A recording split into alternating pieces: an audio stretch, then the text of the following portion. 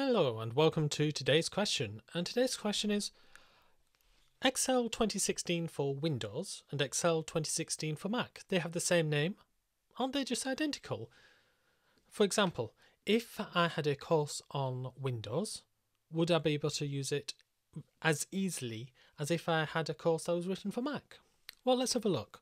So what I've done is I have got here on my Mac a window for Mac Excel 2016 and a window down here for the Windows version. And you can see they start out relatively same. We've got some differences on the left hand side though. So if I'm going to open, I have to click open over workbooks on the left hand side. And I'll click open over here. So we have a browse button here as opposed to an on my Mac. So let's click browse. Let's click on my Mac.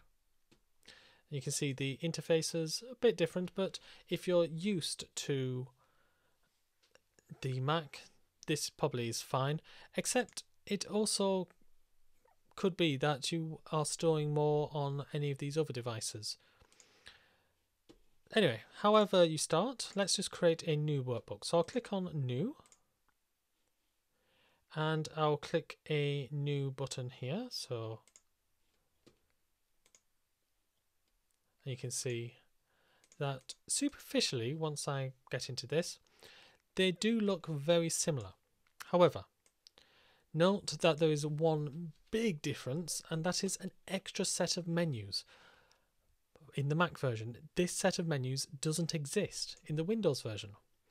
And part of the reason for that is some of the things that you see on the Mac version in the toolbar aren't there that are there in the PC version aren't there in the Mac toolbar. For instance, find and uh, select over here in the Windows version simply is not there in the Mac version. You have to go to edit, find, find. So if you're creating a course, for instance, for Excel 2016 for Windows, you find it very difficult if you're using a Mac to find the actual location because it's in a completely different place.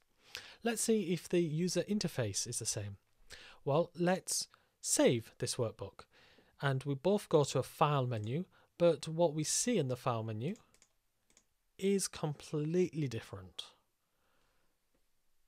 So in just look at the print options, we've got three print options here, whereas we've got one print option down in the Word version, in the Windows version. Now let's do something advanced. Let's um, put in a formula equals b2 times c2. So that is fairly similar on both. But now let's see the formula in here, in the actual pane. So I can do that very easily by going to the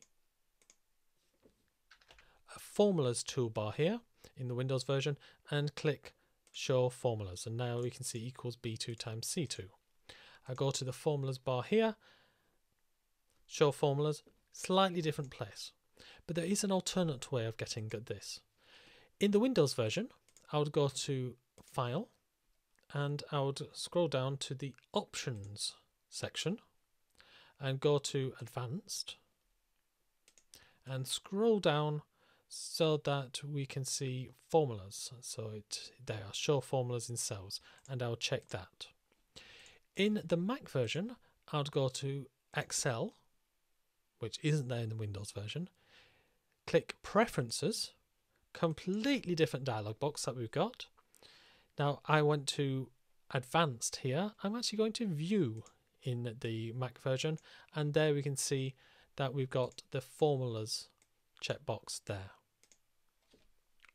So some early functions going to the Excel, going to the file menu, quite different. Some advanced functions, quite different. What about some intermediate functions? Well, if I click on this FX insert function, that gets me a pane, a, a dialog box over here. Whereas if I click the FX here in the Mac version, that gets me pane over on the right hand side. So in summary, difference between the Windows and the Mac version includes completely different file menu, different uh, settings menu, different functions menu. If we go for something that's more intermediate, in the Windows version, you've got these little drop down boxes which allow you to open up a dialog box. We don't have those in the Mac version. Instead, you have to go to Format Cells to get the same thing. And I could really go on and on. If you went to Data tab, you'll see, for instance, there's a huge section, the Get and Transform section, which isn't there. So, really, if I were you and you wanted to learn a Mac version of Excel, then I wouldn't really go for a Windows version of the course. I would choose a Mac version because, first of all, what if you don't have two buttons on your Mac? You'd be pressing Command, so Control and click to get the right hand mouse button. That simply wouldn't occur to anybody teaching the Windows version. Secondly, you're going for all of these extra options that you've got here in this extra menu, which aren't here in the toolbar. And there are also cosmetic changes as well, all over the place. So for that version, reason if you want to have a course on Excel for your Mac, I probably wouldn't buy one that was created for Windows. I hope you enjoyed this question, so thank you for the question, and I'll see you on the next video.